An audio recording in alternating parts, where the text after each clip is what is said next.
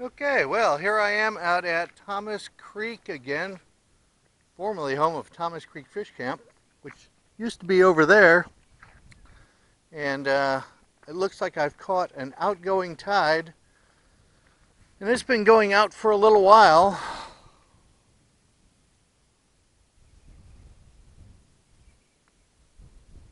So hopefully I can go out and paddle with the uh, with the outgoing tide for quite a while here. Have a really nice trip, and then at the uh, the end of the afternoon, turn around and come back with the incoming tide. I think that's going to be about one o'clock. It's about 10:30 or so now. Should be fun. I'll take pictures all along the way, testing out this new little uh, light Dow 1080p. Uh, GoPro knockoff. See you soon.